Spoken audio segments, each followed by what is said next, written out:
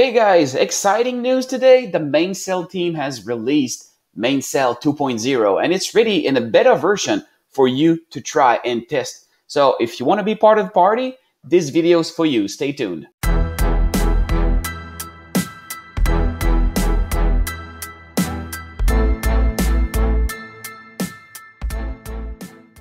So I am really happy to be collaborating with the Mainsail team. They've done a really, really awesome job of uh, updating that interface, which was already awesome, but they, they, they put it to another level again. So really, thank you guys on the Mainsail team.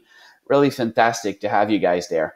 Um, version 2.0, if you are interested in, it's a beta release, so it's not a fully stable release yet, but it will be as more people get on there and test it. So we need your help to go install that, test it, report any issues or bug uh, to the main Mainsail team. And I'm going to show you that later on the video where you can report your issues if you encounter any. I didn't have any issues yet, but if you do, this is why the beta is a beta. So we need your help on this one. So if you want to upgrade, the easiest way is first to get your Moonraker updated to the latest version. So we're going to do that.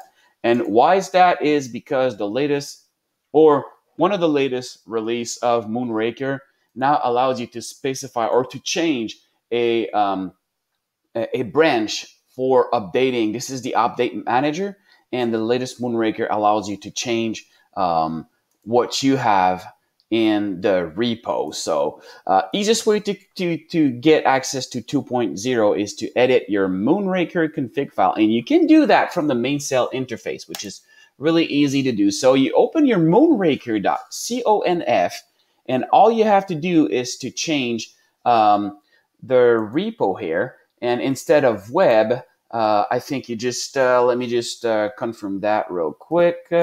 instead of web, you just add underscore beta and you save and restart Moonraker. Try again. And then you launch a scan to check if there's going to be any new updates and it should find out uh, Mainsail 2.0. So that's the easiest way to do that. Here you go. As you can see, it found 2.00 beta. So we're just going to update it. And it shouldn't be too long because it's super lightweight.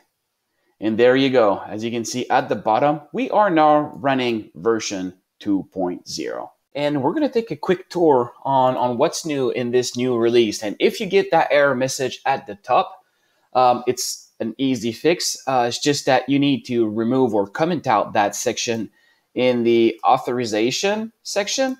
Uh, let's just do that real quick. In that moonraker.configuration, just put a, um, uh, not a dash, a, uh, well, this sign there. Don't know how to call that in English. I think the pound sign or whatever you call that and then uh, hit save and restart, but also make sure that you have this guy here. It doesn't need any setting. It just needs to be there. That's going to enable a, a new tab uh, into Mainsail. Uh, if you don't have it yet, then just add it. If you have it, then you're good to go. So save and restart. That history tab is right there. We're going to come that uh, we're going to come back to that later. So now, what's new in that new release? Uh, a lot of cool stuff has happened. Basically, they have reworked the entire um, interface. It's more snappy, feels more more performance as well. Um, so that's what you get. So um, first thing that you'll notice there is that new little guy top right. Um, this is the setting panel or the interface settings. Uh, remember before it was it was also uh, in the left pane here where you have machine and interface settings. Now they've put the interface settings right here, makes it more convenient. I think it's a better way to do it. So um, in general, you'll see your your your use uh, your normal stuff. We can just name that printer if you wish. It's going to uh, uh, show up at the top.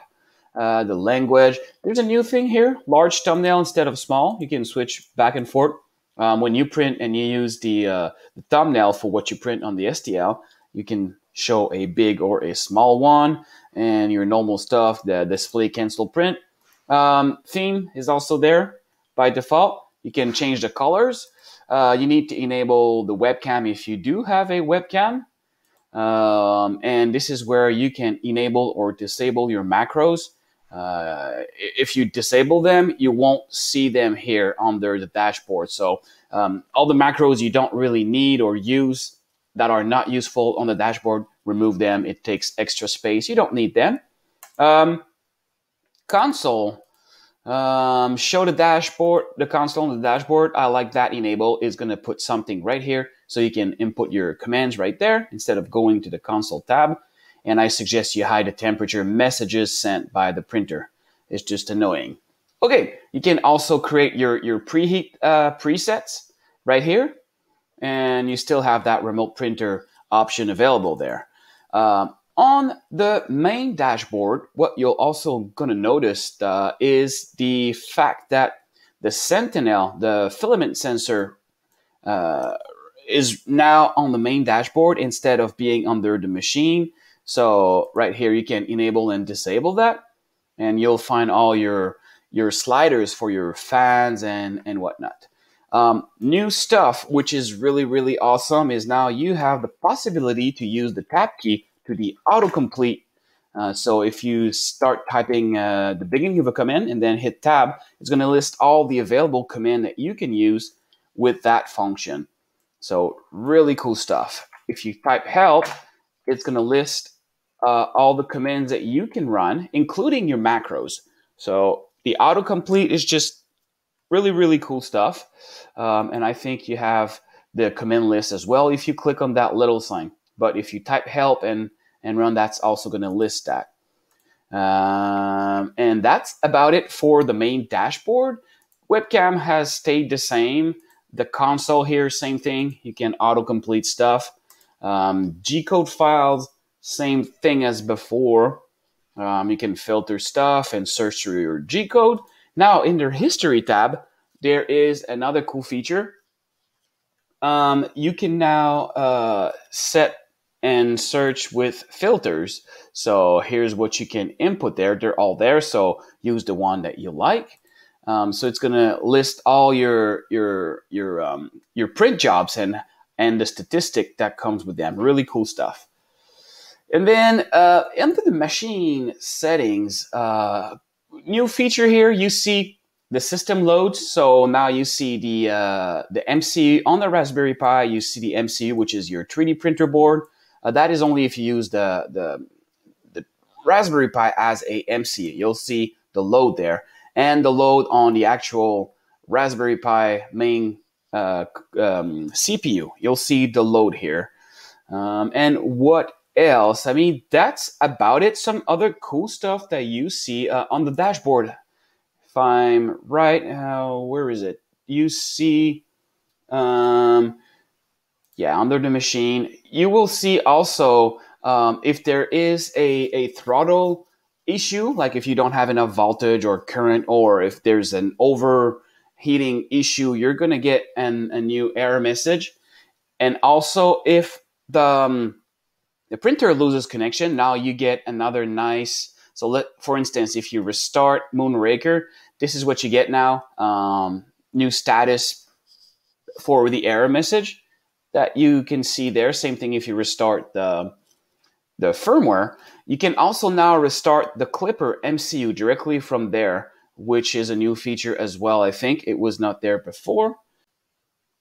Another change that you will notice is when you edit your, your config file. Uh, this is a brand new file editor. It, it's smaller. I think it's more convenient. So they've changed that uh, a bit. So that is also better. Uh, if you do a, a search, it's now going to be at the bottom of the screen. So very nice looking uh, interface there. So if you go to docs.mainsail.xyz in the theming section, you'll see community themes, uh, themes, and there are three themes already. This one looks pretty cool.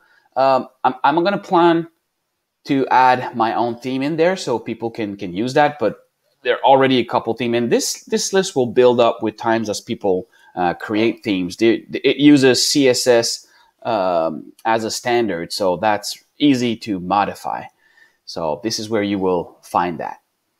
Yeah, so uh, that that's about it. But the entire interface feels more uh, responding, if I can say it that way. So feel free to download it, use it, and if you have any issues, I'll show you where to report the the bugs that you're find you're gonna you're gonna find to the Mainsail team, which is going to be really appreciated. They do that for free, so keep that in mind and be uh, be respectful and gentle with them. If you find issues, then please help them, and they're going to be happy to fix them.